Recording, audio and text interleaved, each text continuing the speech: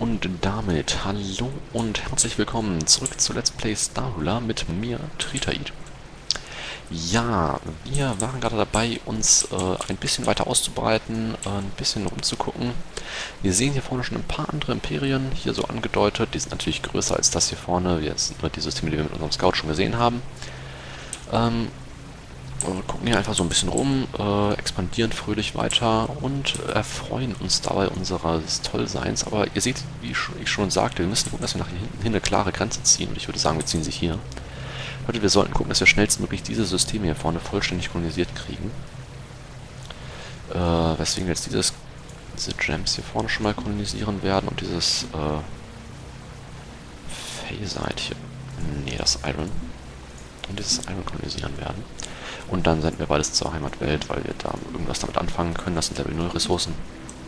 Damit wir diese Systeme schon mal sehen und wir müssen auch gleich gucken, dass wir uns die sichern. Obwohl ich in Wirklichkeit das hier vorne ganz gerne, lass mal gucken. Wir wollten das hier hinten noch zu einer Level 4 Welt machen.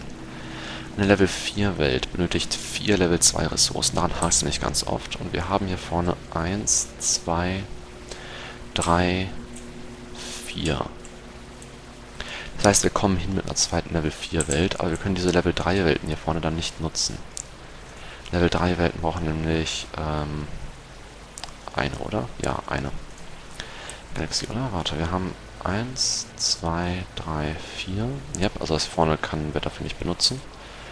Ähm, und wir haben hier zwei Level 3 Welten. Das heißt, wir hätten in Wirklichkeit ganz gerne noch zwei weitere Level 2 Welten. Was bedeutet, dass wir die beiden Systeme eigentlich auch noch ganz gerne hätten.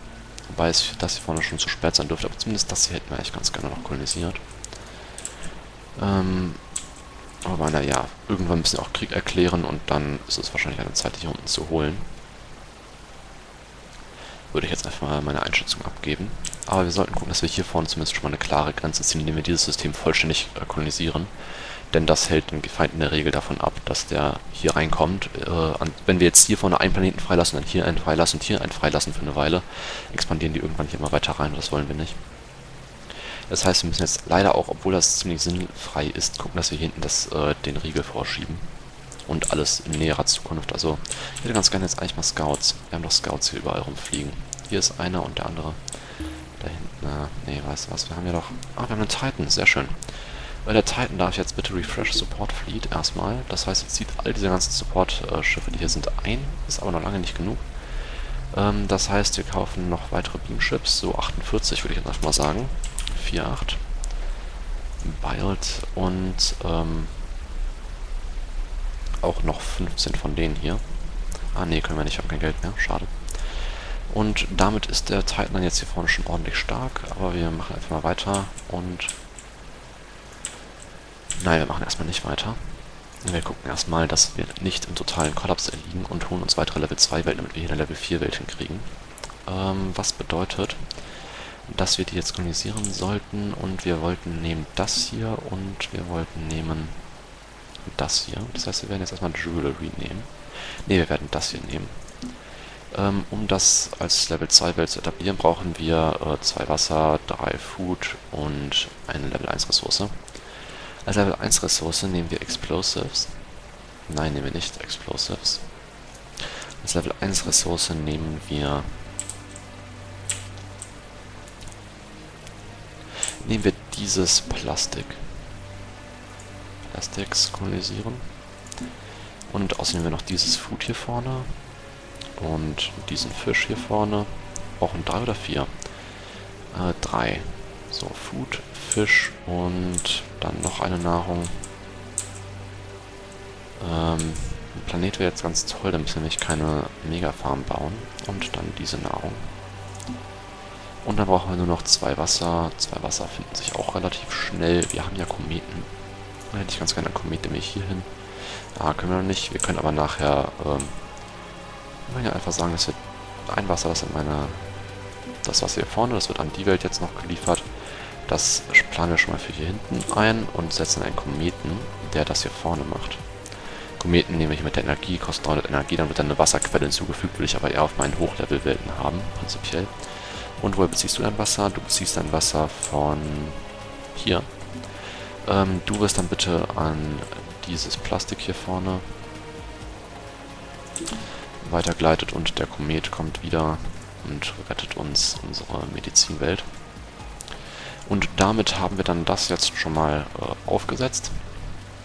Ähm, du hier vorne kriegst auch noch an dem Food, das ich jetzt kolonisiere, diesen Apfel und dieses Fleisch. Und exportierst dann bitte zu unserer Heimatwelt. Und du hier vorne kriegst diesen Fisch und exportierst nach hier und damit wäre das dann auch aufgesetzt und wir können uns in Wirklichkeit jetzt schon um den Titan kümmern und dann bitte noch Heavy Gun Chips adden und zwar, lass mal sagen, erstmal so passen 50? Ich glaube nicht, passen 25. Ah, okay, es passen 13. Ähm, dann machen wir bitte minus 3. Remove. Und ähm, bauen den Rest mit Gunships.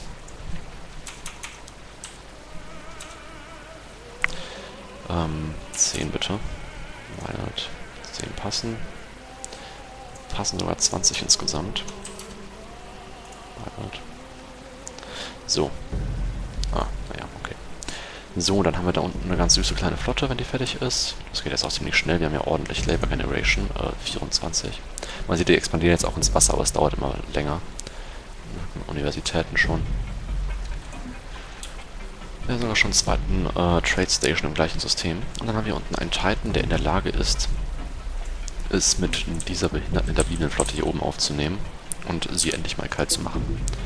Ähm, hatten wir eigentlich nicht mal ein Economic Material? Ah ja, hatten wir schon geholt. Aber ich hätte ganz gerne eigentlich noch mehr Economic Materials. Asteroiden liegen hier irgendwo noch welche rum. Hier ist ein Peckham-Asteroid. Wenn du gerade nichts anderes zu tun hast, kannst du dir eigentlich den auch holen. Also gucken erstmal, ob wir nicht noch irgendwo eine tolle Sache finden. Hier das Wasser. Den Wasser könntest du mal bauen. Oh, mal eine Wasser-Mining-Base. Oh, du pickst das bitte ab. Ähm, denn Wasser-Mining-Bases kosten erstmal nichts und sind nicht so schlecht jetzt in dieser Phase, wo das Wasser knapp wird. Dann bitte diesen Economic Materials und du äh, machst schon mal dahin die Anstehstange.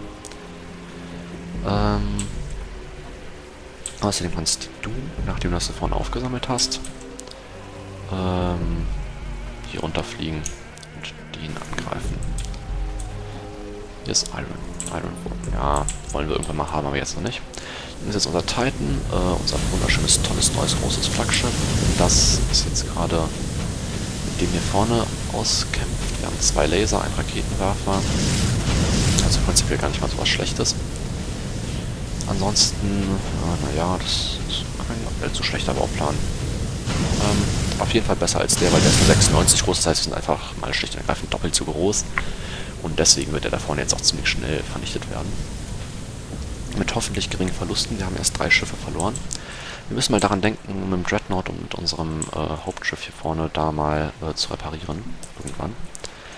Und weil unsere ganzen Expansionen jetzt schon fertig sind, können wir auch schon direkt damit beginnen, diese Jewelry-Welt hier vorne zu kolonisieren und dann äh, gleichzeitig damit äh, diese Welt hier vorne zu kolonisieren.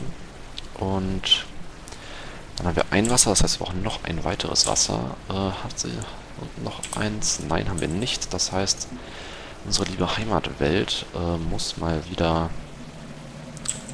Wir wollen noch ein günstiges Wasser, das irgendwie gerade schön liegt. Das heißt, wir machen noch hier vorne eine Mining Base hin.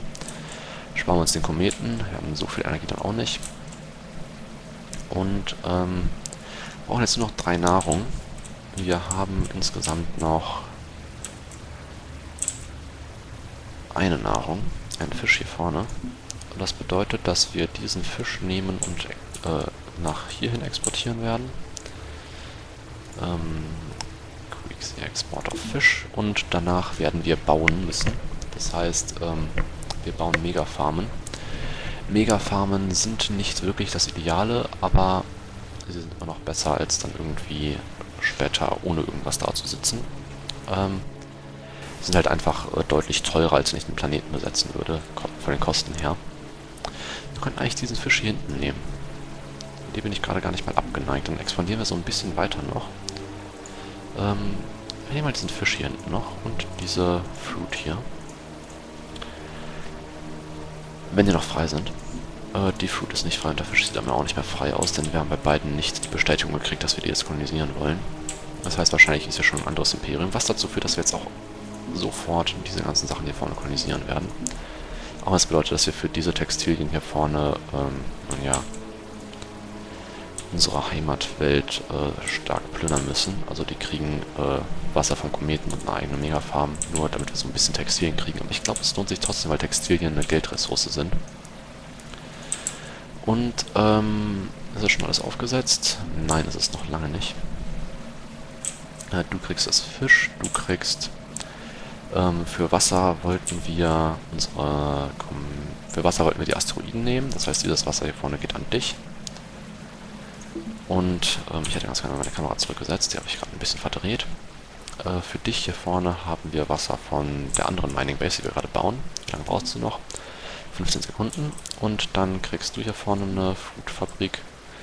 Und unsere andere Welt da unten. Das hier vorne geht wirklich nicht? Nein, geht wirklich nicht. Dann kriegt unsere Welt hier unten leider auch noch eine Foodfabrik.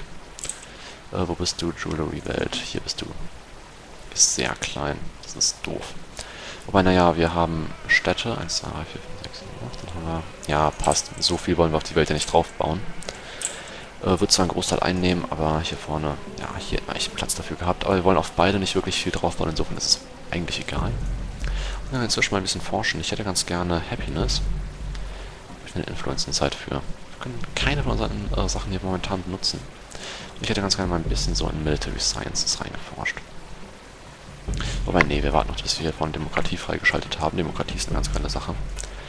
Du kommst bitte zu meiner Heimatwelt. Ähm, dieses Wasser hier. Ähm, du hier vorne hast schon Wasser, oder? Ähm, du hast Wasser. Ja, das heißt, das Wasser hier vorne ist das für die Textilien. Und die Textilien bauen sich außerdem bitte eine Megafarm nach hier vorne. Das dauert jetzt eine Weile. Ähm, wie lange genau? Megafarm dauert 4 Minuten. Das ist also zeitlich gesehen nicht wirklich ideal. Aber naja, es geht halt nicht anders. Das hier gerne noch eine Megafarm nach da oben. Man sieht, die nimmt einen großen, großen Teil des Planeten ein. Aber naja, wir haben keine Wahl. Unser Titan hier vorne hat erfolgreich den Kampf gewonnen. Wir haben nur vier Schiffe verloren. Und können dann jetzt diese Mining Base hier vorne nehmen. Und mal gucken, was dabei rauskommt. Wurde ja von einer relativ starken Flotte bewacht. Müssen wir jetzt mal gucken. Äh, wird das schon gebaut? Ja, wird schon gebaut, obwohl der Planet noch nicht mal wirklich fertig kolonisiert war. Das ist eine ganz tolle Sache. Ähm, und unsere neue Textilienwelt hier vorne kriegt jetzt einen Kometen verpasst und baut sich eine Megafarm, bitte. Und exportiert dann nach Hause. So. Export of Textiles. Wobei die Textilien vorne müssen wir eigentlich nicht unsere Heimatwelt belasten. Die können wir auch genauso gut zu unserer Medizinwelt hier vorne exportieren. Wo die uns dann im Endeffekt die Nahrung bringen, ist irrelevant. Und, äh, naja, die hat halt einfach noch die Pressure Cap frei und dann müssen wir das nicht verschwenden. Äh, genauso mit diesem... Was wollen wir uns jetzt noch? Ich habe mir... Oh, fuck, ich habe mich verklickt. War, warum habe ich denn Volta Materials? Das will ich nicht. Naja, okay, Volta Materials sind nicht ganz so schlecht, wenn man ein paar davon auf Vorrat hat. Was haben wir hier vorne eigentlich? Power Cell, Spinash Probe, Comet und Telescope. Die Power Cell hätte ich ganz gerne mal hierfür. Das bringt es nämlich, dass der hier vorne äh, also effektiver wird. Aber wie sieht es eigentlich in der Diplomacy aus? Wir haben schon wieder so einen Haufen Zeug hier. Ganz gerne Name Flagship und dann hätte ich ganz gerne das United Research Center. Und dann würde ich ganz gerne das Senatsgebäude äh, mal ausrufen auf meiner Heimatwelt. Das dauert, kostet mich 6 Einfluss, vorzuschlagen und jetzt müssen wir gucken, dass wir es durchgeboxt kriegen. Bedeutet, wir sollten auch noch irgendwie... Ah, fuck. Hoffentlich ist hier jetzt... Ja, hier sind ein paar Negotiates dabei. Gehen wir als 10 hierfür aus, ist zwar Wucher, aber okay. Wir haben nicht wirklich die Wahl, wenn irgendwelche Gegenstände müssen die auch irgendwas machen können. Aber es sieht nicht so aus, als ob die wirklich gerade so wahnsinnig interessiert daran wären. Ah ne, wir haben die Volta Materials gekriegt, weil wir den hinten eingenommen haben, okay. Ähm, wo ist sonst noch eine hinterbliebene Flotte, eine hinterbliebene Flotte, die ich gerne aus dem Weg räumen würde? Nirgends. Das heißt, doch hier vorne. Ähm, du kommst bitte und schaltest den hier aus. Und unser Dreadnought, wo ist der? Der kann sich dann ja mit den schwächeren Flotten beschäftigen. Äh, du nimmst den hier hinten und danach kannst du dann diese schwächere Flotte hier vorne ausschalten. Ähm, die hier vorne sitzen wahrscheinlich wieder, ja, wir sitzen wieder an einer Mining Base. Und dann haben wir hinten noch zwei schwache Flotten, die nehmen wir dann halt nachher. Ähm, ich hätte ganz gerne eigentlich mal gewusst, was da hinten so abgeht. So ein Teleskop kostet nur 150. Wir machen das mal nach hier. Yep, hier ist das grüne Imperium. Das hat sich hier voll aufgebaut. Und dann haben wir jetzt eine ganz klare Grenze. Und uns gehört dann im Großen und Ganzen dieser Spiralarm hier. Das System hier hinten haben wir noch nicht äh, geholt, aber das machen wir irgendwann noch. Ähm, wir wollten hier unten noch eine zweite Level 4 Welt aufbauen. Das kriegen wir, glaube ich, auch noch hin. Und unsere Abstimmung läuft momentan ziemlich gut. Das freut mich. Außerdem kriegen wir hier unten Berge an Supportschiffen. Weil wir hier jetzt inzwischen schon 12 Defense Pressure haben. Was auch ziemlich geil ist. Die äh, Factory sticht hier vorne so krass raus. Das finde ich richtig lustig. Ähm, ja, wir müssen jetzt mal ein bisschen gucken. Was haben wir hier? Wir haben hier an Level 0 Ressourcen sehr viel Aluminium. Wir haben Phasite. Phasite können wir nehmen und dann irgendwo anders hinschicken. Du hier vorne hast, glaube ich, noch drei Pressure frei, oder? Phasite bringt auch noch mal drei. Ne, bringt sogar nur zwei. Textilien hier vorne bringen und wie viel Pressure? Die bringen Money 3, das war klar. Das Phasite hier unten bringt zwei weitere. Das wird kolonisiert und danach hier exportiert. Dann ist die Welt beschäftigt. Voll. Äh, das Aluminium hätte ich eigentlich alles ganz gerne auf meine Heimatwelt äh, konzentriert. Genauso wie das Packhelm. Ähm, was haben wir sonst noch so? Wir haben nicht so wahnsinnig viele Level 0 Ressourcen. Das ist auf der einen Seite nicht wirklich gut, aber auf der anderen Seite auch eigentlich ganz toll. Äh, das Phasite hier vorne kommt dann bitte noch. Hier, du hast den Platz. Ja, du hast den Platz. Du hast noch hier. Ich, äh, ich habe jetzt die ganze Zeit nur nach dem Pressure geguckt. Hast du den Platz um die ganzen Gebäude? Ja, hast du. Du hast den Platz.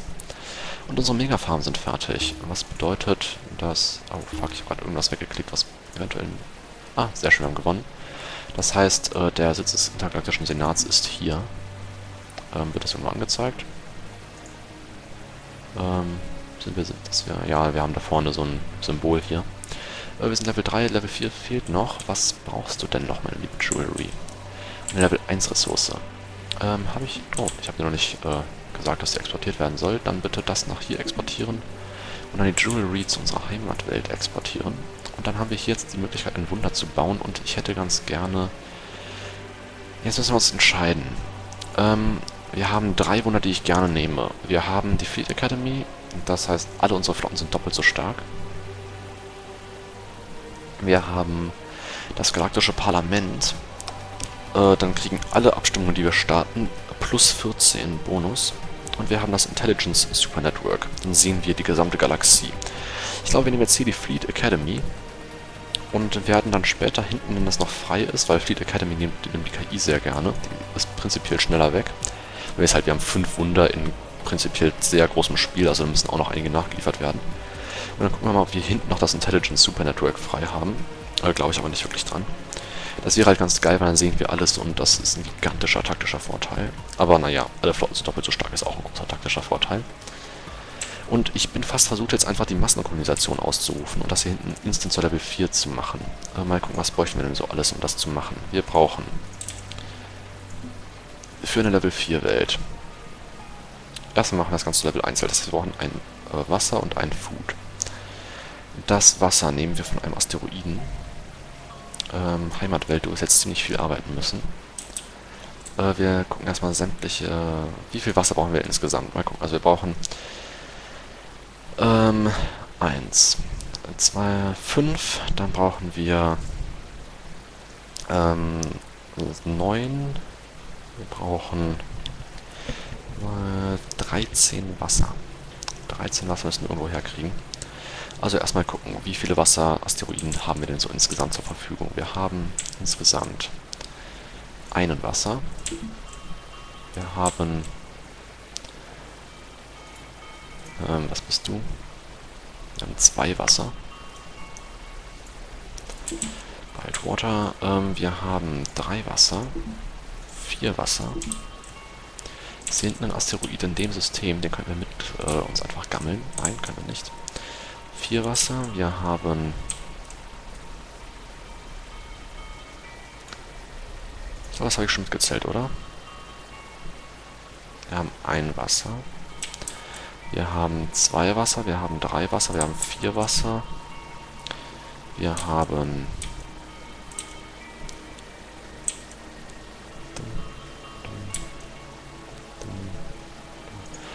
5 Wasser. Wir haben 6 Wasser. Wir haben 7 Wasser. Wir haben 8 Wasser. Wir haben 8 Wasser. Das heißt, wir brauchen noch 5 Wasser irgendwo her. Wir haben 2 Kometen. Das heißt, wir brauchen noch 3 Wasser irgendwo her. Das heißt, 3 von unseren Welten, äh, wahrscheinlich Level 1 Welten werden das werden, äh, werden sich noch äh, Hydrogenator bauen müssen. Und wir werden insgesamt wahnsinnige äh, brauchen. Und zwar werden wir 4, 5, 6, 7, 8, 9, 10, 11, 12, 16 Food werden wir noch bauen müssen. Fick dich. Aber okay, ähm, wir hätten ganz gerne kolonisiert. Dich. Dann hätten wir ganz gerne kolonisiert, um das Ganze auf Level 2 zu bringen. Ähm, noch eine weitere Level 1 Ressource. Und da nehmen wir Native Gold. Und dann hätten wir, um das Ganze auf Level 3 zu bringen, ähm, noch zwei weitere Level 1 Ressourcen, äh, ne, noch eine weitere Level 1 Ressource und eine weitere Level 2 Ressource. Da nehmen wir Medizin. Ich nehme jetzt zuerst gezielt die äh, ganzen Sachen, die auch Geld bringen, damit wir nicht zu sehr ins äh, Minus kommen. Und dann brauchen wir noch zwei weitere Level 2er und drei weitere, äh, zwei weitere Level 1er und drei weitere Level 2er. Ähm, ne, warte, wir brauchen für Medizin noch ein Level 1er. Und dann brauchen wir noch insgesamt ähm, drei weitere Level 1er. Ne, fünf weitere Level 1er. Fünf? Ja, fünf. Fünf weitere Level 1er. Das ist ähm, eins, zwei. Die können wir nicht benutzen. Drei. Vier. Wenn wir das umleiten. Das ist ein Asteroid Belt. Okay, wir müssen in Wirklichkeit... In Wirklichkeit haben wir gerade verschissen, weil wir die nötigen Level 1 Ressourcen. 4, wir brauchen noch eine weitere Level 1 Ressource von irgendwo her. Oder? Wie viele haben wir jetzt? Wir brauchen insgesamt 4 ähm, und dann nochmal 4. Das heißt, wir brauchen insgesamt 8. Wir haben hier 1, 2, 3, 4, 5, 6, 7, 8. Wir kommen gerade so hin. Das heißt, wir können noch eine zweite Level 4 Welt aufbauen. Und dann brauchen wir noch drei weitere Level 2. Äh, dann nehmen wir einmal, dann nehmen wir zweimal und dann nehmen wir Diplomacy, Annex Planet, Activate auf den hier. So, dann annektieren wir jetzt einfach mal ganz kurz die Welt hier vorne, weil wir die brauchen. Und dann können wir auch eigentlich den hier vorne noch kolonisieren. Und äh, den hier vorne holen wir uns dann irgendwann nochmal mit einem weiteren Annex Planet. Auch wenn ich jetzt wahrscheinlich davon ausgehen darf, dass der hier gegen stimmt. Ähm, hat schon einen dagegen geaddet. Äh, welche Annex Planet Investigate? Ja, Empire 10 will Empire 9 Investigate. Das ist mir scheißegal in Wirklichkeit. Ähm, darum kümmern wir uns gerade nicht. Das hier unten ist von uns für Relevanz. Und ähm, wir hätten ganz gerne noch eine NX Planet Karte gekauft. Und damit dann auch diesen Planet hier vorne annektiert. Eine NX System wäre, glaube ich, fast billiger gewesen, aber egal. Annektieren wir einfach mal die beiden. Ähm, das interessiert mich nicht wirklich. Wonder Refinery Forge ist weg, okay. War ja 10, was war mit einer Refinery Forge? Was kann die normal? Warte. Ich weiß, dass sie schlecht, aber ich weiß nicht mehr genau, was sie kann. Ähm, Wonders. Wo ist das? Ähm, List of... Wo ist Wonders? Hier ist nicht Wonders. Vielleicht in Planets, dann äh, Planet Level 4. Ist hier irgendwo was mit Wunder? Da, Wunder. Äh, List of Wonders. Ähm, ich hätte gerne eine Liste von allen Wundern. Nicht das Intelligence Super Network. Ach, okay. Ähm, wir werden es hier nachher sehen, wenn wir hoffentlich da unten unser Wunder hinkriegen. Wobei, nee, warte, wir brauchen das hier hinten gar nicht. Wir haben ja hier schon eine Level 2 Ressource in der Stadt. Wir haben uns auch mit allem anderen verrechnet. Ähm, aber egal, das ist gut, weil äh, prinzipiell haben wir noch nichts davon gebaut. Aber wir können diese Annektierungen hier hinten... Äh, warum sollten wir die zurückziehen? Haben wir ein weiteres System in Wirklichkeit. Die lassen wir, weil dann bringen wir die Grenze hier vorne auf ein System. Und das ist sehr schön, weil wir dann nur dieses eine System verteidigen müssen, effektiv. Ähm, wenn wir diesen Local Asteroid hier vorne noch kriegen. Vorausgesetzt natürlich. Und äh, wir machen einfach mal wieder Play und hoffen, dass wir das alles jetzt hier so, wie wir das gerade so wunderschön geplant haben, durchkriegen. Dann hätten wir eigentlich eine sehr starke Ausgangsbasis. Und dürften uns wahrscheinlich mit zu den territorial stärksten äh, Imperien zählen. Sind wir jetzt schon militärisch und territorial. Natürlich mit dem, der hat Einfluss und äh, Territorium. Das sind dann halt die beiden Seiten der Münze. Ähm, das ist die Investigation, die ist mir scheißegal. Dann können halt alle Imperien Imperium, Imperium 9 sehen. Das ist mir in Wirklichkeit egal, ob wir das können oder nicht. Wer ist das hier unten? Das würde mich mal interessieren. Äh, naja, unsere Scouts fliegen halt, ob uns das interessiert oder nicht, einfach lang. Das hier vorne ist, ähm, gegen wen stimme ich gerade? Diplomacy. Das ist Empire. Das Imperium, von wem auch immer ich hier gerade annektieren will, hat sich, doch, es hat sich hier vorne gemeldet. Wer hat hier 2 runtergestimmt? Empire 7. Das heißt, wir stimmen hier gerade gegen Imperium 7 ab. Ähm, das heißt, auch Imperium 7 liegt hier gerade an unserer Grenze. Und, äh, ja. Die Local Asteroids hier hinten ähm, übernehmen auch noch. Die kriegen einfach alles mit irgendwelchen Gebäuden zugepflastert, sodass es passt. Ähm, und dann haben wir halt die Local Asteroids, um dann das System hier vorne nicht dem Feindpreis zu geben. Und wir kolonisieren fleißig weiter. Wir kriegen sogar nicht den totalen Wirtschaftskollaps, was ich gerade sehr schön finde. Und wir sind hier schon in ziemlich hohen Level. Ich hätte ganz gerne mal Military Sciences. Wir wollen ja auch hier in dieser Richtung nicht total zurückbleiben. Ähm, die Local Asteroids, das freut mich gerade wirklich, dass wir die noch gekriegt haben. Und all diese ganzen Sachen, die wir gerade bauen, können eigentlich im Prinzip, äh, du hier vorne, du kriegst ähm, von mir einen Meteoriten gespendet. Achso, da ist noch kein äh, Kolonieschiff eingetroffen. Das ist ja klar einiges. Und dann kriegt wahrscheinlich diese Medizin hier hinten noch einen, äh, noch einen davon gespendet. Aber der Dreadnought ist noch nicht mal hier hinten angekommen, Alter. Das dauert so lange, wenn man nicht über Lichtgeschwindigkeit fliegen kann. Das ist. Naja, naja, egal. Ähm, ist das hier vorne jetzt langsam mal von mir besetzt worden? Das erste Kolonieschiff ist jetzt eingetroffen. Das heißt, wir können jetzt hier schon mal beginnen, äh, unseren Kometen draufzusetzen. Wir haben jetzt sogar drei Kometen, das ist sehr schön.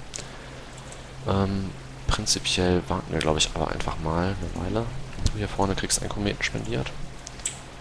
Weil ich dich eigentlich soweit, du hast den Platz. Du kriegst einen Hydrogenator und eine Megafarm. Und exportierst bitte... Naja, du kannst eine Labor nicht exportieren. Oh, hier sind sogar ein paar Gunships in der Nähe. Wie sieht es eigentlich mit der Annektierung? Ah, das ist auch gleich annektiert, sehr schön. Ähm, wobei, nee, warte. Wir canceln bitte die Mega-Farm. Ähm, das hier vorne wird dahin exportiert. Und dann haben wir den hier vorne, das Thorium. Ähm, das muss ich wirklich aufbauen. Das kriegt bitte ähm, eine Mega-Farm für Level 1, dann noch eine Mega-Farm für Level 2 und ein Hydrogenator, damit das Ganze existieren kann. Ne, du kriegst einen Kometen. So, Generate Water. So, ähm, und dann brauchst du noch eine Level 1 Ressource. Und du wirst dann exportiert werden nach hier hinten. Exportatorium und du kriegst irgendwann mal mein Plastics. So. Plastics wird dahin exportiert. Plastics habe ich schon besetzt. Nein, habe ich noch nicht. Okay. Ähm, du hier vorne hast schon Wasser. Du kriegst noch Nahrung. Du kriegst richtig viele Megafarmen. Du kriegst eine Megafarm, du kriegst vier Megafarmen. Äh, Megafarm und Megafarm und Megafarm. Du kriegst einen Fisch von hinten. Das ist wesentlich sinnvoller, weil du brauchst den Platz und die Asteroiden hier vorne brauchen den in Wirklichkeit nicht. Megafarm bauen, bitte. No, Megafarm bauen. Was ist daran so schwer zu verstehen? Danach hierhin halt. Da wahrscheinlich, weil ich da schon mal eine hatte und die dann gecancelt habe. Ähm, und du wirst bitte den Fisch nach hinten exportieren. Weswegen du jetzt auch schon mal Level 1 bist, was gar nicht mal so scheiße ist. Hast du hier drei Mega-Farmen. Ähm, das Native Gold hier vorne kriegt unseren letzten Kometen. Ah, der ist außerhalb unseres Systems. Ja, der ist außerhalb unserer Reichweite, wir sehen den nur. Das heißt, dieses Native Gold hier vorne kriegt ähm, von unseren Asteroiden jetzt dann das Wasser spendiert. Export Water. Und dann kriegst du eine Mega-Farm und exportierst bitte nach hier. Und dann ähm, brauchst du für das nächste Level So, du hast jetzt eine Level 1 Ressource, du brauchst insgesamt vier Level 1 Ressourcen. Das heißt, du kriegst noch dieses hier. Electronics. Du kriegst Wasser und du kriegst, sobald irgendwas hier ist. Also Kolonierschiff, komm an. Äh, eine Mega-Farm. So, dann haben wir das aufgesetzt. Dann kriegst du noch zwei weitere. Soll ich mir jetzt Gedanken machen, was ich da hinschicken will? Ähm, ich will da auf jeden Fall haben von unseren Level 1 Ressourcen. Diese Explosives. Weeks Export Explosives. Empire 5 will mich investigaten. Äh, ganz vergessen.